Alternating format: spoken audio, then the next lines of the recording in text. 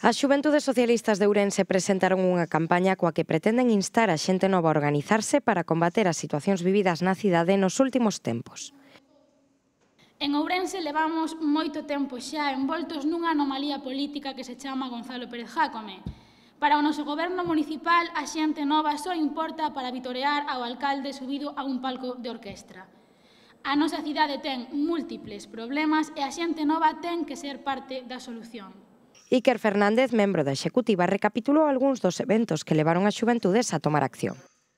Somos unha organización comprometida eh, coa vida política, eh, queremos firmemente eh, na importancia de defender os dereitos da xuventude, E por iso a nosa campaña ten como obxectivo transmitirlle a xente nova que as Xuventudes Socialistas de Ourense queremos brindarlles un espazo no que poidan expresarse, debater, aprender e, sobre todo, actuar nos temas que lles importan.